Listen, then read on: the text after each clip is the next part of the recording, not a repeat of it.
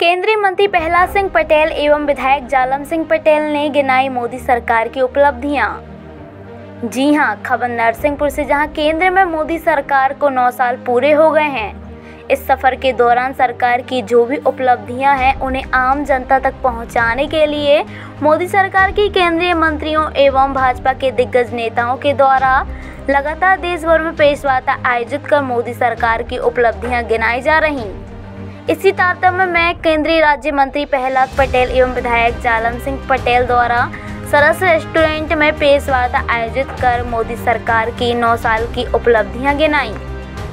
केंद्रीय मंत्री प्रहलाद पटेल के द्वारा इन 9 सालों को बेमिसाल बताया। इस दौरान प्रहलाद पटेल ने कहा कि बीजेपी सरकार ने सबका साथ और सबका विकास के फॉर्मूले पर सभी वर्गों का विकास किया है। आवास शौचालय, उज्ज्वला योजना मुद्रा योजना किसान सम्मान निधि, पेंशन, सामूहिक विवाह, जल योजना, वृद्धावस्था पेंशन योजना, सिंचाई योजना समेत मोदी सरकार के द्वारा संचालित योजनाओं की जानकारियाँ दी।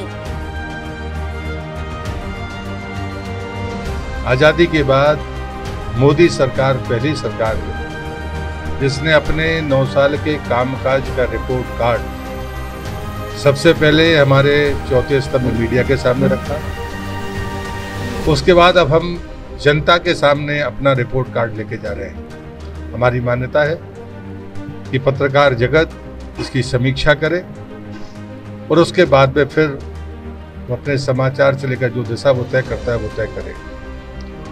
जो समालोचक हैं, उनसे सरकार ये मानती है कि हम अपनी योजनाओं का सोशल ऑडिट भी चाहते हैं। और इसलिए मैं पूरे भरोसे के साथ कहता हूँ कि हमारी पार्टी और हमारी पार्टी की सरकारें विचार, विकास और विरासत के संरक्षण और संवर्धन के लिए कृत संकल्पित है।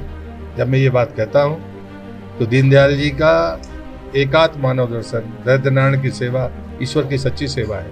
वो हमारी हर योजना में मूर्त रूप दिखती है। जब मैं विकास की बात करता हूँ तो हम 2014 के पहले की जितनी भी कालखंड हैं, उनसे तुलना करने में हमें कोई हिचक नहीं। वो चित्र हमने आपके सामने रखा है। और जब मैं विरासत की बात करता हूँ तो मैं गर्व के साथ कहता हूँ कि विरासत को बचाने में, उसके संरक्षण में, उसकी पैरवी में और उस पर गर्व करने में अगर कोई है तो सिर्फ़ और सिर्फ़ भारतीय जनता पार्टी, उसकी सरकार चाहे वो धारा तीन की समाप्ति हो, राम मंदिर के निर्माण का मार्ग हो बाबा विश्वनाथ का धाम हो या अन्य जितनी भी विरासत हो, साथ में हमने ये भी माना कि आज़ादी के आंदोलन में तमाम लोगों ने बलिदान दिए थे, लेकिन उनको स्थान नहीं मिला।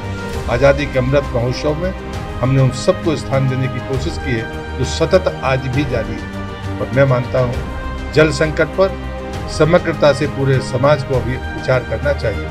ये वो पहले प्रधानमंत्री हैं जिनने अमृत सरोवर की कल्पना करके उसको मूर्त रूप देने का काम किया।